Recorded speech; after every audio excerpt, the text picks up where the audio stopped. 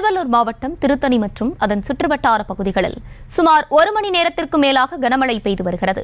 இதனால் பொதுமக்களின் இயல்பு வாழ்க்கை பாதிக்கப்பட்டுள்ளது. இது குறித்து கூடுதல் விவரங்களோடு இணைகிறார் எமது செய்தியாளர் செந்தில். செந்தில் வணக்கம். விவரங்களை வழங்கலாம். வணக்கம். தமிழ்நாட்டில் பல்வேறு மாவட்டங்களில் மழைக்கு வாய்ப்பு உள்ளதாக வானிலை ஆய்வு மையம் அறிவித்திருந்தது. இதனால் திருத்தணி பள்ளிப்பட்டு ஆர்கேபேட்டை ஆகிய சுற்றுவட்டார பகுதிகளில் கடந்த இரண்டு நாட்களாக மழை இரவு மற்றும் பகல் நேரங்களில் விட்டு விட்டு மழை பெய்து வருகிறது.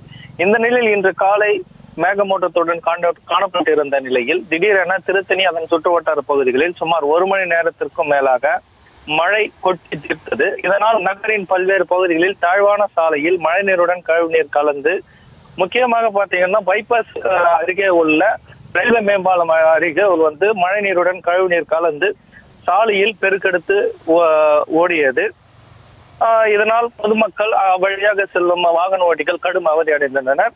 அதே போல் தொடர் இது கடந்த இரண்டு நாட்களுக்கு மேலாக தொடர்ந்து திருத்தணி பகுதி சுற்றாறு பகுதியில் பார்த்தீங்கன்னா மழை தொடர்ந்து பெய்து வந்ததுனால பொதுமக்களின் இயல்பு வாழ்க்கை கடும் பாதிக்க ஏற்பட்டுள்ளது ஆசினி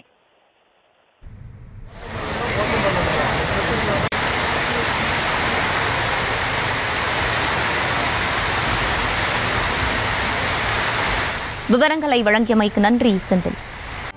செய்திகளை உடனுக்குடனும் துல்லியமாகவும் தெரிந்து கொள்ள சப்ஸ்கிரைப் பண்ணுங்க.